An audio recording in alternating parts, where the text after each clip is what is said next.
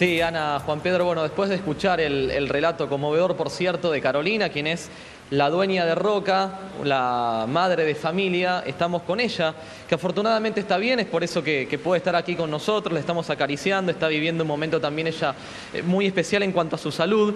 Roca tiene siete años, desde hace un tiempo forma parte de esta familia, recuerdo, tienen un chiquito de tan solo tres años que también fue testigo de todo esto, eh, y aquí hablar ¿no? del, del instinto animal, que ya lo va a desarrollar mucho mejor con conocimiento del doctor Cosia.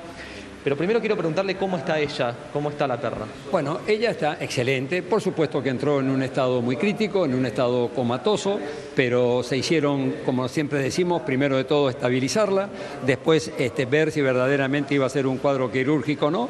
Efectivamente no fue necesario un cuadro quirúrgico, pero sí eh, de estabilización.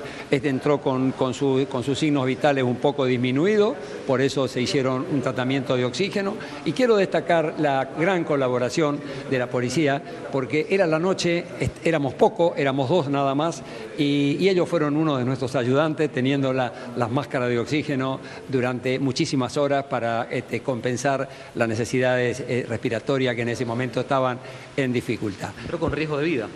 Entró con riesgo de vida, tuvimos que facilitar una camilla para ir hasta el móvil policial que habían ellos este, acercado a, Mora hasta acá y, este, y bueno, en ese momento este, se trabajó, pero con mucho, con mucho entusiasmo, con mucho cariño por parte del, grupo policial también y por supuesto eh, con el correr de las horas fue mejorando, hoy de mañana ya tuvimos una buena respuesta por eso ya desconectamos todo lo que es suero, creemos que en la tarde de hoy se va a ir a casa porque necesita afectos familiares, pero vemos que justamente es un perro con una alta condición de sociabilidad.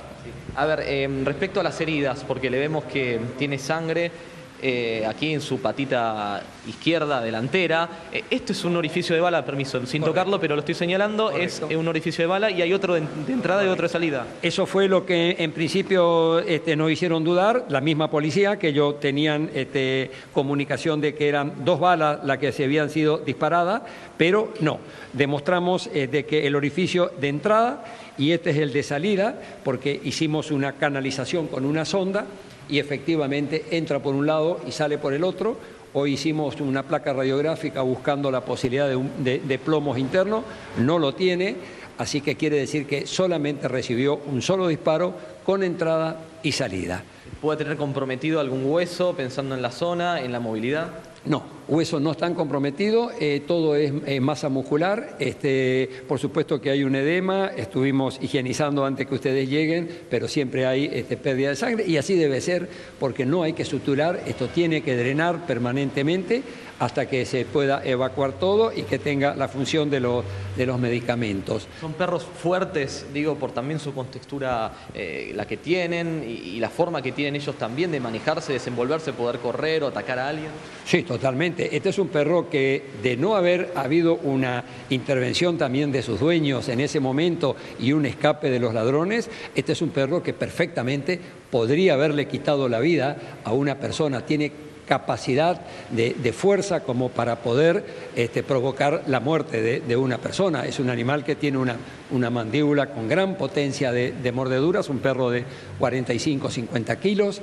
Eh, desgraciadamente con muy mala prensa, nosotros decimos que el dogo argentino es un perro este, este, potencialmente peligroso y yo digo todo lo contrario. Eh, los animales, ninguno son potencialmente peligrosos, sino que los animales, el 80% va a depender de la crianza que tengamos.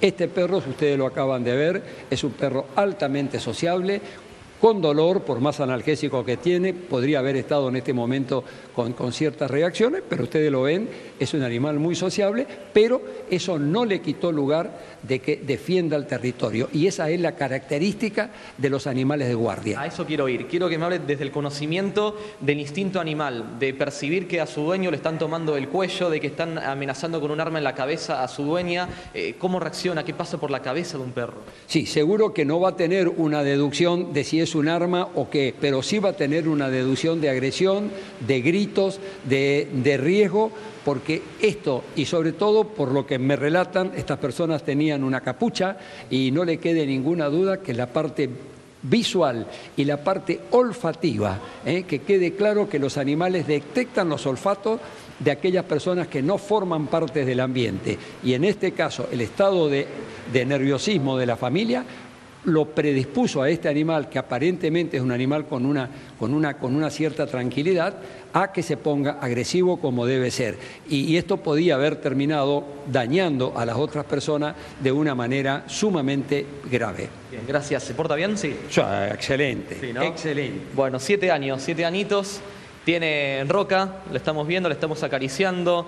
eh, es muy amigable, muy sensible también. eh, una carita hermosa tiene, de hecho, y, en unas horas nomás va a estar en casa. Está siendo eh, acariciada por personas que ella no conoce, no reconoce olores, tampoco rostros.